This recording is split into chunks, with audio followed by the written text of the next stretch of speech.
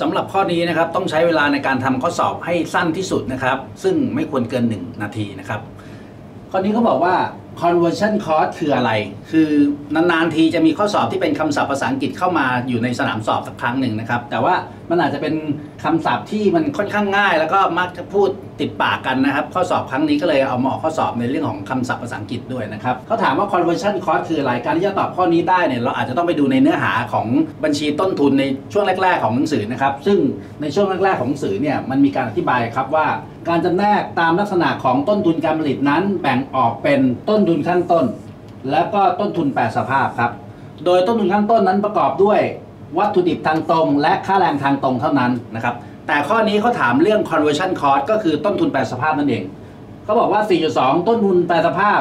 ในวงเล็บ conversion cost หมายถึงต้นทุนที่ใช้ในการแปรสภาพวัตถุดิบครับ เราจำให้ดีเลยนะครับ มันคือต้นทุนที่ใช้ในการแปรสภาพวัตถุดิบ ให้กลายเป็นสินค้าสำเร็จรูป ดังนั้นอะไรครับที่สามารถแปลงวัตถุดิบให้เป็นสินค้าสำเร็จรูปได้ ก็ประกอบด้วย 2 อย่างครับ ก็คือค่าแรงทางตรงกับค่าใช้จ่ายการผลิตครับ ดังนั้นคำตอบก็คือค่าแรงทางตรง และค่าใช้จ่ายการผลิต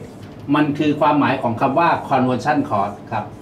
ดังนั้นเราไปดูกันนะครับ ในเฉลยครับมีไหมครับ ค่าแรงทางตรงและค่าใช้จ่ายการผลิตมีครับ ข้อคอควายครับ ค่าแรงทางตรงและค่าใช้จ่ายการผลิตครับ